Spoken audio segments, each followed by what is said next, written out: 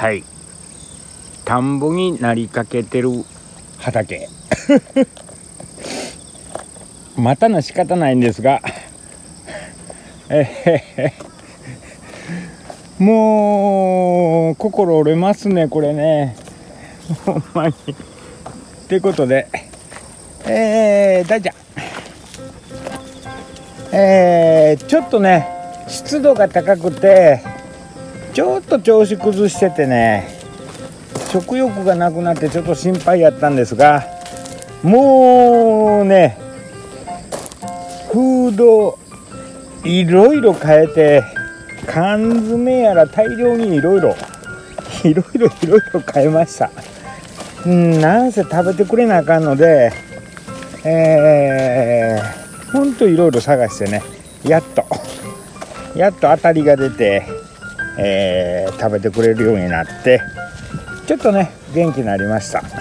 うんもうフラフラやったんよ。フラフラ。うん立たしてもフラフラフラフラって歩いてたんやけどもうちょっとね心配でした。まあまあ今また普通ぐらいの量に食欲が戻ったんでうんあまりねもう足腰弱いんで太らさないように、えー、管理してあげて、えー、維持していきたいと思います。な大ちゃん？大ちゃん？首輪もねちょっとあの間に合わせの首輪をしてたんですが ちょっと新調してやりました。うん。ちょっと女の子かな？まあええかって思うけどうん。こんな感じで、えー、首輪を新調しましてこの首輪ね結構安くてよかったんけど調整しろがあんまりない。うん。パッチン式のね首輪なんであのー、散歩ちゃんとできない子は僕こういう首輪は勧めてはおりません。普通のね昔からあるあのピン通すタイプの首輪に、えー、時計のバンドみたいなね、うん、首輪を、あのー、進めてるんですがもうね散歩できる子なら何でもええいうかまあパッチン式でも全然、うん、ロックオンとかした時にねあのー、パッチンのとこがねプラスチックがね弱いやつがたまにあるんですよ、うん、外国製のねプラスチックってね割れやすいからね。日本製とまた違うんでその辺で今外国で結構作ってるでしょ。だから結構うんヨーロッパのあの車なんかでしか僕知らんねんけど、えー、ヨーロッパのプラスチックって触るの怖いからね。本当に。触るの怖いよ。外そうかなと思ってこれやったら外れんねんけどな。でもなーっていう感じでそーっと恐る恐る外してパキってよくあります。ヨーロッパの車ね。だからあのー、あまり僕このパッチン式の首はあのー、進めてないんやけどこれ結構ねあのパッチンのとこに力かからんように考えてるね。こうやってあのこっちにベルトの方に力かかるように考えてるから結構マシかなと思って買ったんですが安かったよこれ。うんアマゾンで買いました。はい。えー、そんな感じで。うん。で大ちゃんはねずっとスリップリードで行っとったんですよ。でもこんなヨタヨタとかねなられたらこんなっていうかなられたらちょっとねあのー、スリップリード怖いんで。んでもうあの首輪で行っとったんですが間に合わせのね、うん、ちょっと買ってやろうと思って。もうあのー、なんでスリップリードかっていうとポイって通せポイっていけるからですよ。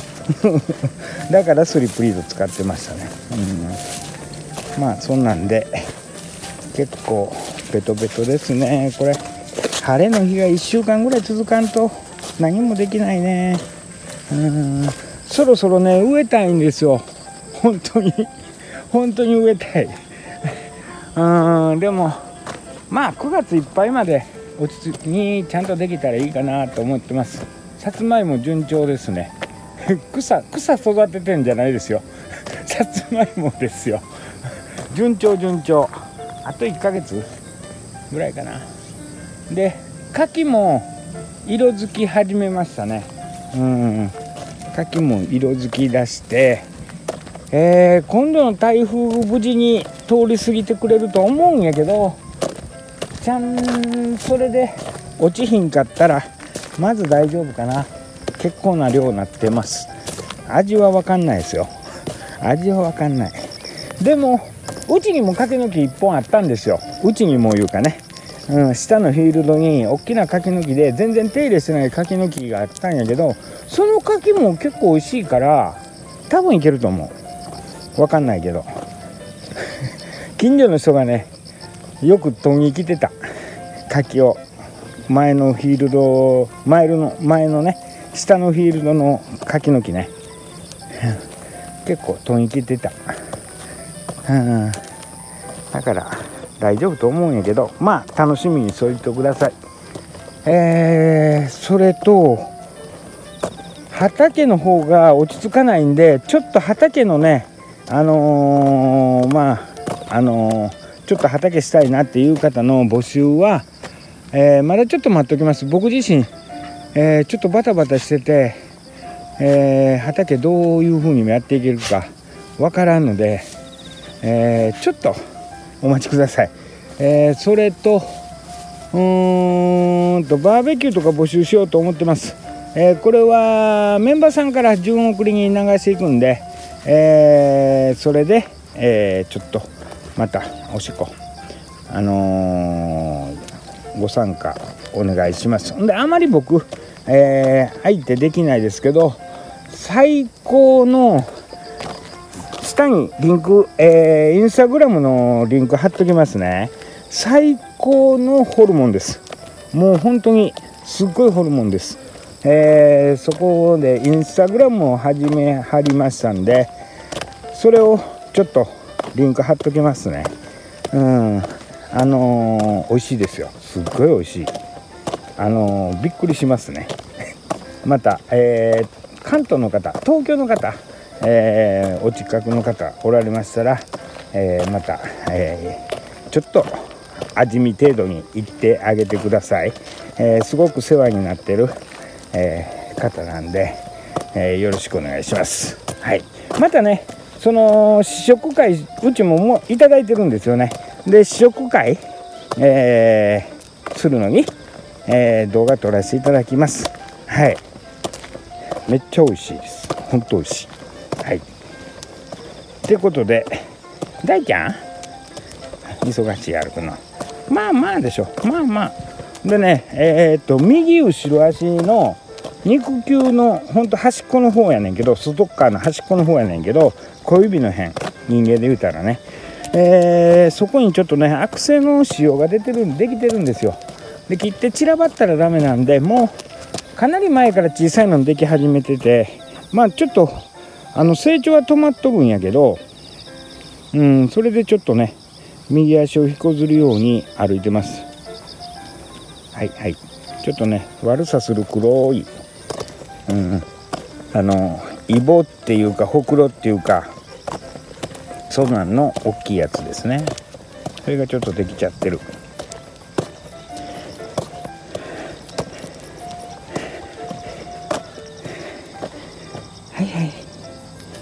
大ちゃん大ちゃん大ちゃん大ちゃんね何分ぐらい歩かしてるんやろ。もうねぼちぼちですよ。ぼちぼち歩いて30分から1時間涼しい間にねちょっと歩いてもらってっていう感じで。でフィールドで結構長く。じゃじゃん大ちゃん大ちゃん大ちゃんフィールドでちょっとね長くゆっくりしてもらって。それからちょっと歩きに行こうかっていうので大ちゃんの時間何時間ぐらいとってんやろ？2時間ぐらいかな？大ちゃんと一緒におるの。うん本当フィールドでぼーっとしてるだけ。で足が足腰がねちょっとねあの弱ってきたんでもう1頭だけでね。で僕と一緒に寝てます。はい。こんな感じでうんやってます。あもうねあの人恋しくなってきてますこの子。すっごい。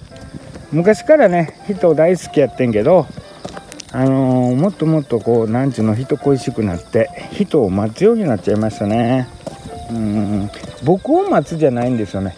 もう誰か人を待つみたいな感じで、えー、ちょっとね、えー、寂しいんやろね。うん。で雷どうってことない子やったのに雷がすごい怖い怖がりますね。最近雷すごいんですよ。でお近くの方かなんかわからないけど芝で、えー、噛むようになったりとうちに相談あったんですけどもうトレーナーやめてしまったんでね。あの犬の問題行動改善する会でフォローしかないですいうことでね Zoom でね、うん、そういう形でお帰りに願ったんですが犬は連れてきてなかったんですが11歳言うとったかな。11歳で雷で一撃で噛むようになったみたいな。前からちょっと問題があったと思うんやけど詳しいこと聞いてないんですが多分何か問題が前からあってそれで雷が引き金となったと思うんやけどほいで獣医さんに連れて行ったみたいなんですよなぜか。ほいでねまあどういう経緯で獣医さんに連れて行ったか分かんないですけどえー抗転換薬飲まされて、うん、でもう一軒獣医さんなぜか2軒獣医さん行ってもう一軒もなんか薬出てそれは一緒に飲んでもかめへんいうことでなんかもうすごい薬漬けにしてしまってで僕はダメですよそれって言って原因を理解してやって、えー、きちっとすれば、うん、改善するよっていうことで、えー、改善する会をおすすめしたんですがうんどうかなと思うんですね、うん、そこからはもうねあの個人うん、個人の飼い主さんの判断なんでね、うん、僕は何とも言えないんですが、うん、でもね噛む犬をそういうふうになんか噛む犬をきちっと治そうと思ったらやっぱりご自身で頑張らなきゃもうすっごいお金かかっちゃうんでね。うん。だからもうねご自身で頑張られる方がいいと思いますね。いいトレーナーさんを見つけてアドバイスいただいて、うん、やってくれても電話で、えー、11歳の芝ですって言ったらそこでうん。んちょっとあのー、お断りされる確率が高いかなと思うんですよね。僕年齢関係なしって思ってるんですがやっぱり芝で、えー、11歳ってなると、うん、嫌がられますね。うんほんとね。芝で素直に受けてくれるのは8ヶ月ぐらいまでですよ。本当に。うん訓練所とか8ヶ月までとかなんか言われるとこ多いもんね。年齢関係ないんやけどね。やっぱ扱いやすいと噛まれても知れてるみたいな感じで思ってんかな。一緒やねんけどね、なかなか大変だと思いますが。うん。ほんとね。まあね。11年寄り添ってきた犬じゃないですか。だから頑張ってあげたらなと思ってます。うん。でも僕は何にもできないです今ね。忙しいんで。これ以上やったらもう僕あの過労働で心臓止まってまう。ほん。と、だからねもうそういうとこからちょっと一線引いてっていう形でねやっていくのがいいんかなと思います。はい。それでは、えー、いつもいつもご視聴ありがとうございます。失礼します。はい。